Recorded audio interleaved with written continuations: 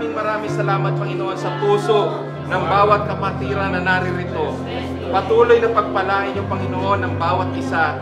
Nawa maging pagpapala kami sa lahat ng aming makakaharap na tao at patuloy, Panginoon, na magkampanan namin ng maayos upang lahat, Panginoon, na nga-attend dito ay magkakaroon ng uh, magandang uh, experience sa buong buhay nila, Panginoon.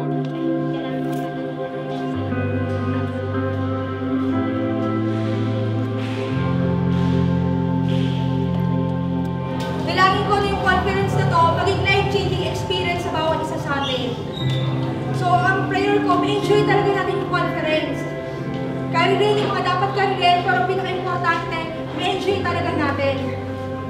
So, praise God kasi nakita natin, di ba, yung pinakil ng Lord. Ako naniniwala ako na mamaya may matinding gagawin si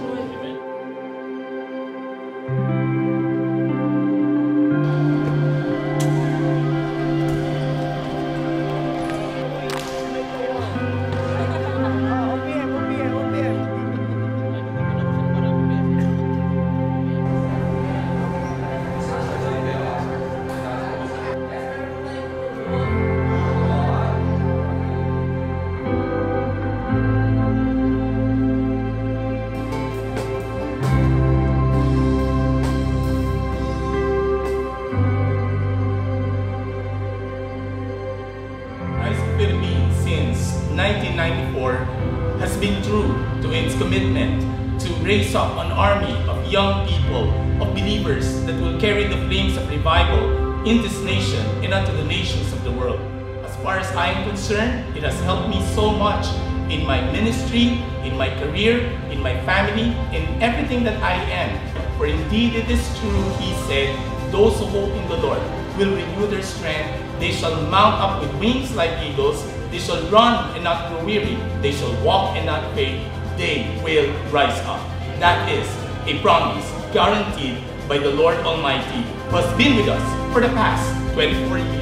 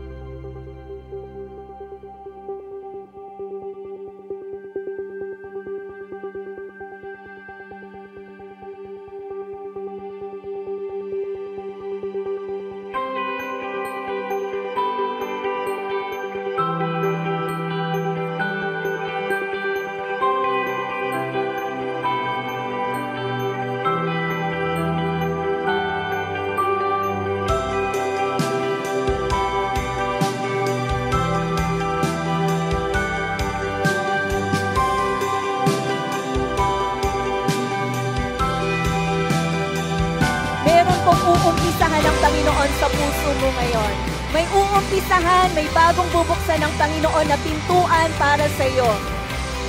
Kapatid, mag-ready ka sa isang wagas na pagsamba.